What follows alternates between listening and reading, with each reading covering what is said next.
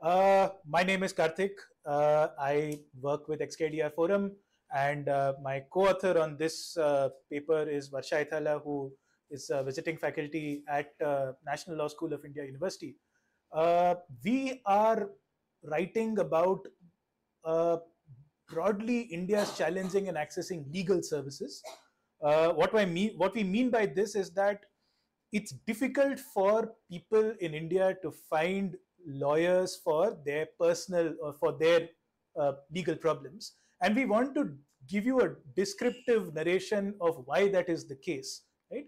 Uh, we're going to talk about what factors that affect the provision of these legal services in India and why this is an information or a quality signaling problem. What are what what quality signaling aspects lie here? Uh, and we're talking about some solutions that have come from the private sector, and we'll talk generally we'll have a broad-ended discussion uh, and Q&A after that. And of course, Pratik uh, will be sharing his, uh, his, his feedback and his discussion on our paper as well. So uh, a version of this paper we presented earlier at uh, uh, another seminar series and before that at the NLS seminar series. we've made some changes to the to the narrative. We've spoken more about legal education. We've spoken about the, uh, the quality of a lawyer or the quality of training given to a lawyer at the level of entry into the profession. We've made some uh, additions on that front. We've also spoken about uh, uh other factors like uh, uh, registration and the bar exam itself, which which have which have changed from the paper since. So we look forward to your feedback on this. So the argument we are making is really a a single straight uh, linear uh, an argument where we talk about how there is a problem of unmet legal needs and the problem we're talking about in this presentation is that of access to lawyers. Now there are two ways that this problem could be mitigated. One is you either make it easier for people to find lawyers and two is really about the quality or the standards of the bar right? We are also i mean there's also the third element of you know improving quantity having more lawyers in the country we do touch upon that, but that's not the that's not a main uh, limb, but that's not a main part of the argument uh, as I'll, I'll, soon discuss. Now, in India, broadly, what we found, uh, what we uh, see is that both of these attempts, uh, both finding lawyers as well as you know improving for quality, they've either not materialized or they haven't taken off. Uh, and our explanations are threefolds. firstly, there are there are issues with professional quality control uh, there is a lack of a level playing field in the profession due to historic and present reasons. And thirdly, and uh, more specifically and narrowly, there are certain regulations that restrict how a lawyer can seek engagements. Uh, so one argument with three uh, uh, reasons as to why we think that is. So uh, now we let's talk about the factors that the factors that affect the provision of legal services in India. Now, here we are talking about uh, specifically factors that, uh, uh, like we said, quality and uh, accessibility.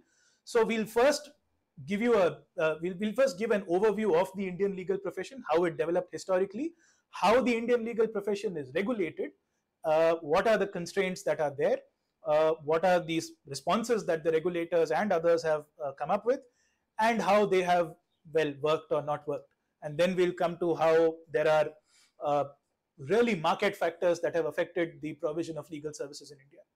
So uh, just a brief overview of the Indian legal profession. Historically, there were really two parallel sets of professions, right? Uh, on the one hand, you had the Indian side, so to speak. You had people who were called vakils and muhtars. Uh, vakils were people who were uh, people who had a, law, a graduation or a, or, a, or a degree or a formal education, and muhtars were people who did not. Uh, they typically practiced law at what were called mofussil courts, and they spoke the local language, and they generally had Indians as clients. Uh, this is what you think of as the uh, I mean, the literature likes to call these uh, these class of lawyers as Indian lawyers, uh, as opposed to well English lawyers during uh, you know the British colonial period, where you had barristers and solicitors, most of whom, but not all, were trained in England uh, and they typically practiced law in the presidency cities and they uh, practiced at the high courts. they spoke in English, they conducted their practice in English, and their clients were tended to be sophisticated firms, Europeans, and wealthy Indians mostly. Uh, this, of course, is not uh, static. This changed as India came closer to independence and completely changed after independence. Uh, the first broad attempt at regulating advocates, regulating lawyers, came in 1926 uh, when uh, the high courts made rules to govern lawyers within their jurisdiction. Before, sorry, before 1926, the high courts made rules to govern lawyers within their jurisdiction. In 1926, uh, there was the Indian Bar Councils Act, which was really the first formal regulatory body before which you had the high courts. Uh, and of course, uh, the Advocates Act uh, brought parity, formal parity between the Indian side and the English side by recognizing only advocates and senior advocates. Right? Now, coming to bar councils, uh, in 1926 there were state or rather provin provincial level bar councils which were primarily tasked with the admission of advocates and they determined cases of professional misconduct. After independence uh, in 1961, the Advocates Act uh, created the Bar Council of India at the union level and the distinction between the state bar councils and the union, uh, the Bar Council of India, is that the BCI is tasked with the laying down of rules and standards of professional conduct, designing the framework for edu legal education, regulating the compliance of universities with these uh, legal education frameworks, and making rules for lawyers who seek to practice law in India with foreign qualifications. Right now, this distinction between the BCI and state bar councils is by design. Uh, I think the uh, taskbar is hiding a footnote there which says that the uh, concurrent list entry 26 uh, makes a distinct uh, the concurrent list uh, or rather legal the, the regulation of the legal profession is a matter for the concurrent list which means both the union and state can make uh, laws on this right? So this distinction is really by design a constitutional design. We what ended up happening i mean the outcome that we saw uh, over the years is that uh, this mechanism has a lot of problems. Uh, the Supreme Court itself noted in 2016 uh, in a PIL that was raised against uh, the BCI that the BCI court appears to have no effective administrative and disciplinary control over state bar councils and local bar associations. Right? So that brings us to our point of uh, state capacity for regulation of lawyers. There are some common problems between the BCI and the state bar councils. Uh, the Law Commission noted that there are they're not transparent about uh, the rules that uh, that get enforced uh, uh, uh, vis-a-vis lawyers. There are quote defensive reactions to changes that affect the profession, etc. Some observations were made on that front. one example which I think would bring this problem to light is at point two, the first line, which well uh, the BCI does not have data on the number of advocates in India. And this is, uh, I mean, the, the BCI uh, filed an affidavit in the Supreme Court when the Supreme Court asked them about this question uh, in 2015. The Supreme Court said, uh, please then find out uh, the number of lawyers in India by doing a nationwide verification exercise of advocate registrations. The BCI said that there is a problem of fake lawyers, people who practice the law without proper qualifications. And uh, uh, to improve the quality of the bar, the Supreme Court ordered uh, a verification exercise. this exercise is not yet complete. now, the most recent development on this front was that, well, just two months ago, the Advocates Act was amended. Uh, it was amended to grant powers to high courts, district courts, session districts and session judges, uh, district magistrates and revenue officers to uh, publish a list of touts who purport to practice the law without the necessary qualifications. Those who are on this list are liable to imprisonment and fine. Uh, so yeah, what I mean, the verification exercise according to the BCI was not complete because the state bar councils have not supplied the BCI with uh, the information about how many lawyers have been enrolled with each. Uh, and like we saw, the enrollment of lawyers is a state bar council's uh, subject, whereas the uh, uh, framing of qualifications or framing of uh, what standards it takes to be granted an enrollment is that of the BCI. So there is that tension that has been uh, that we can see through the Supreme Court case. Uh, when it comes to misconduct, if a client is aggrieved by the misconduct of an advocate, like we saw, they can file a complaint with the State Bar Council. Uh, the State Bar Council is required to dispose of the complaint within one year, failing which the case is transferred to be heard by the BCI. Uh, the Supreme Court in uh, 2021 noted that there is a practice among the state bar councils to quote deliberately delay the hearing of the complaint so that it automatically needs to be transferred to the BCI. Uh, the same Supreme Court order notes that uh, the BCI has a total of 1,273 complaints which were pending with it. Uh, 650 odd of those complaints were filed in the previous two years. Uh, and we do not have a, a time series uh, of uh, how long these complaints have been pending and how many complaints the BCI receives each year. Now, we also note that uh, according to uh, the, the rules on misconduct, a panel of advocates decides on whether an advocate has breached the rules of professional conduct. This is called system of peer justice. This has also led to allegations of regulatory capture. Uh, given that uh, we spoke about how the BCI does not know that, uh, uh, or rather, there is no clear or accurate sense of how many lawyers, how many advocates are in India one estimate that the chairperson of the BCI uh, uh, shared in 2013 uh, was that of 1.7 million registered advocates, right? Even if we take this 1.7 million registered advocates uh, as our as our uh, final figure, we arrive at a lawyer to citizen ratio in India or a lawyer to well, Indian ratio of 1 is to 752, right? Now, Mark Galanter in 1989 carried out a similar exercise where his estimate was one lawyer for every 336 Indians. So this means that on a per capita basis, the number of lawyers available, the pool of lawyers available has halved. Now, this is a quantity problem as well as we can see. And just for context, in, in England and Wales, they, uh, there is they have one solicitor for every 285 people. Also, in England and Wales, the uh, there are two classes of lawyers. You have barristers and solicitors. So we only found information on solicitors.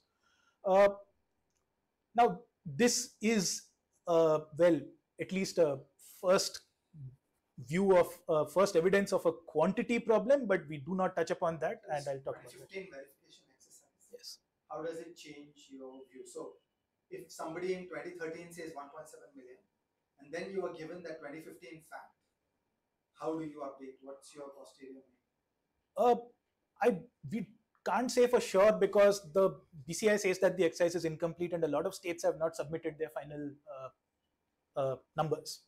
So I, I, really don't know. Sorry, but uh, just yeah, let's yeah. Okay, so I'll also very quickly touch upon how legal education is conducted in India, and I think uh, uh, a lot of this is something we already uh, might know. legal education before 1987 was available only to those who had completed at least three years of university education. Uh, now, this was, of course, before NLS IU was set up. At NLS, the changes they made in 1987 were that they admitted high school graduates through a national competitive test for the first time. And this was a five year law, law program, which was at the time fully residential. The intent was to create a new and better trained class of professionals.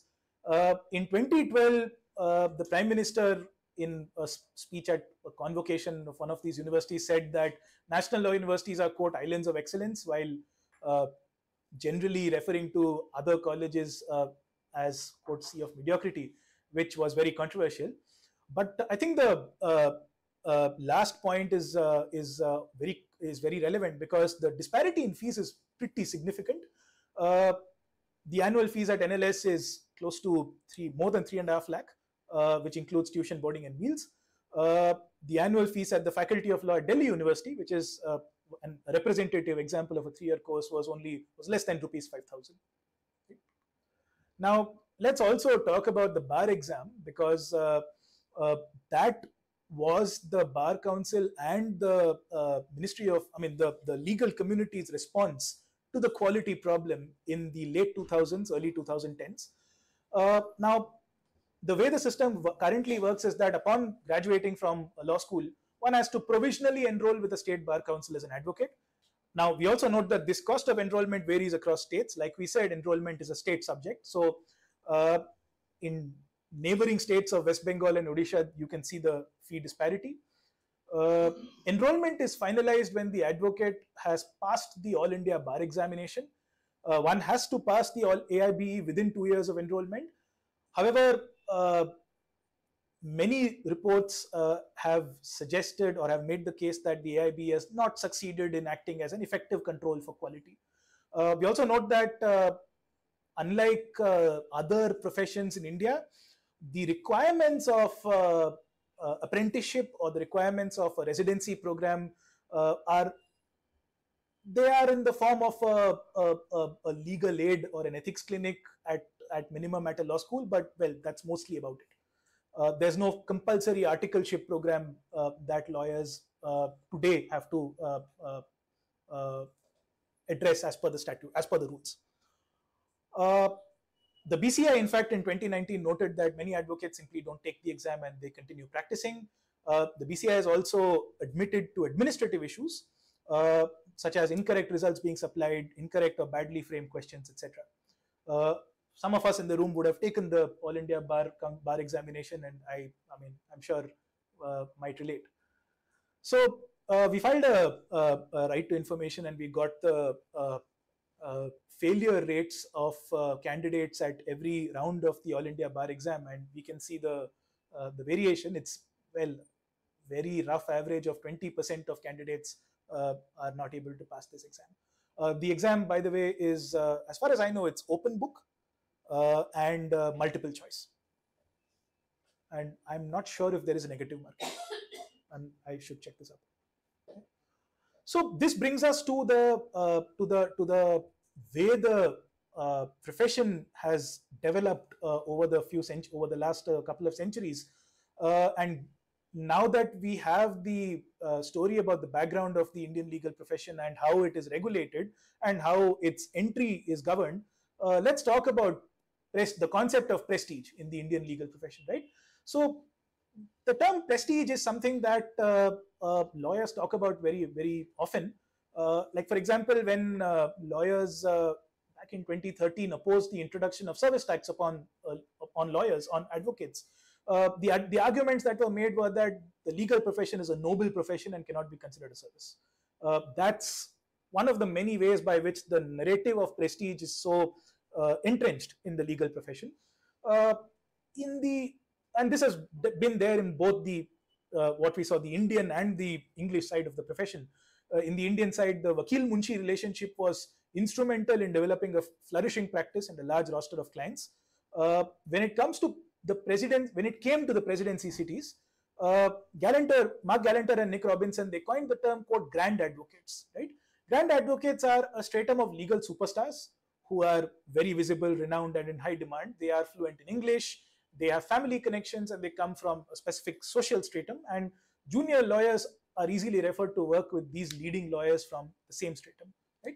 So uh, when we see this together we see that the uh, one dominant way by which uh, how good or how effective a lawyer is historically has been how prestigious that lawyer is because uh, when you couple that with the Indian practice of relying on oral advocacy as opposed to written submissions or planning or estate work, uh, most Indian lawyers are uh, are oral advocates, and that influences what are what is called face time with the judge, right?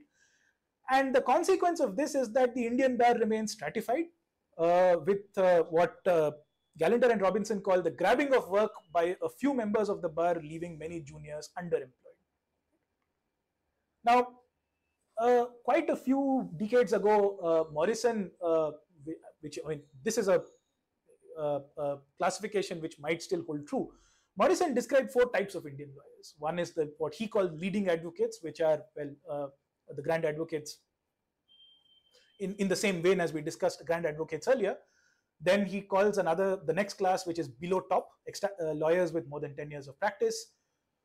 Average uh, well, he says men uh, with many years of practice and they may hold a position in their community outside the bar, but they lack the district wide professional reputation of top practitioners. Uh, and the last, uh, which is the largest category of briefless lawyers, right? So uh, he talks about, uh, I mean, the context he's talking about was his field study at the district courts in Ambala in Haryana. uh, he talks about how uh, uh, factors like caste and kinship play a major role in how prestige is built over a lawyer's lifespan of or, span of practice and you know he notes things like how lawyers coming from a certain caste they would be engaged by people from their caste uh, but it would it may not have been easy for uh, people from other castes to hire that lawyer. It gives you examples of uh, you know brahmin lawyers and rajput rajput lawyers in that sense which you can find in our paper which uh, we've shared. Uh, now given that there are these uh, uh, constraints that we've uh, discussed both in terms of formal regulation as well as uh, you know the s- structure of the profession uh, Galanter and Robinson noted these the following mitigation strategies. So what happens is Indian lawyers tend to practice independently, uh, and they rarely collaborate. Only an estimated two to three percent of lawyers work with a firm. Uh, Indian lawyers are, like I said earlier, oriented towards oral arguments and not uh, drafting, advising, and uh, negotiation work. And lawyers do not limit themselves to one area of the law. They are relatively unspecialized. This is to be able to uh, find or uh, develop the broadest uh, clientele possible right? Uh, the consequence is that clients in india typically tend to have an episodic engagement with their lawyer. They tend to approach their lawyer at a relatively later stage of the dispute. And as a result even sophisticated clients who have little experience of lawyers and therefore they sorry sophisticated clients have little experience with lawyers and therefore have no baseline with which they can measure good conduct and quality now we wanted to uh, i mean a lot of this literature is uh, is uh, not uh, not recent so we wanted to assess our priors. Uh, so we spoke to i mean this is a very unstructured way by which we just wanted to assess our priors and get a, a rough kind of a legal needs survey going. There have been larger scale legal needs survey that uh, for example daksh carried out in 2015 and 17 but uh, what we did was we spoke to 37 individual clients and 25 litigating lawyers to learn from their experiences. Uh, the majority of clients they found their lawyer through a family member or a friend, uh, and uh, four of them found their their lawyer by being after being referred to by another lawyer. And when it comes to fees, the large majority of lawyers they collect lump sum amounts. So the uh, American stereotype, I guess, of uh, hourly payments is not really prevalent in India. Uh, among the lawyers we spoke to, there is a fairly even split among these lawyers who felt that advertising should be allowed or not, which is something we will cover in uh, the forthcoming slides. Uh, the lawyers reported that their clients were mostly referred to them by either by other lawyers or by existing clients, followed by friends and family. Uh, and lawyers seem to differ on when they perceive their engagement to begin. Now, what I mean by this, some lawyers say that uh, the first time their client contacts them is when the engagement begins. Some lawyers say that the engagement begins only when the wakalatnama is signed.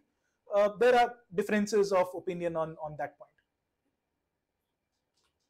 So let's now talk about uh, what information uh, constraints do uh, does the Indian legal profession have uh, when it comes to signaling for quality.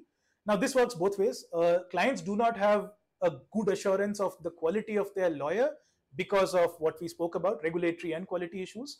And lawyers are also not able to signal to their quality effectively to their client. Uh, this is largely due to the inherently stratified nature of the profession and its reliance on prestige. So this uh, brings us to the uh, formal regulations on advertising. Historically in India, advertising has been considered as tantamount to solicitation. Uh, the Supreme Court in 1962 in a case said that uh, if a lawyer were to solicit briefs, he is an unworthy member of the of the learned profession, right?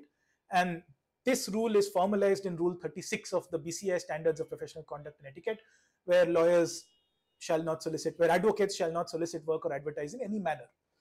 Now, uh, the origins of this rule may lie in the deep association of the profession with prestige. Uh, however, this is changing, and uh, while there were restrictions on advertising in uh, the developed countries as well, uh, in the 1970s through the 1990s, in most developed countries, rules on advertising were relaxed. Uh, in the in England, in the UK, lawyers can advertise in I think nearly all of the European Union. They can.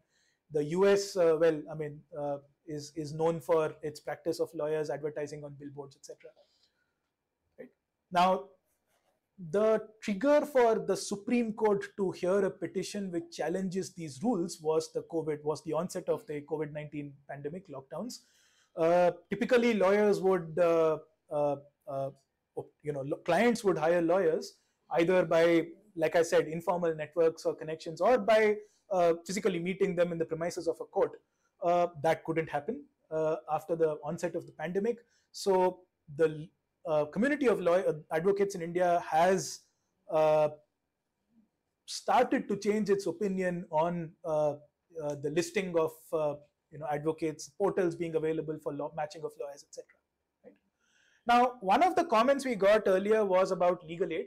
Uh, in many developed countries, legal aid has served as a solution for this problem of for the access problem. But in India, Varsha has done some work on uh, how and many other authors have done work on how legal aid hasn't hasn't worked out in India. Uh, legal aid is guaranteed by the Constitution, Article 39A. Uh, it's a directive principle, but sure. Uh, now, advocate fees are regulated in some states, uh, usually by the High Court, but these regulations are seldom enforced. Now, this may not be a, a problem in and of itself, but there are two consequences of, of, of this regulation. One is that uh, in the context of an information gap, the client in India has little access to actual fees.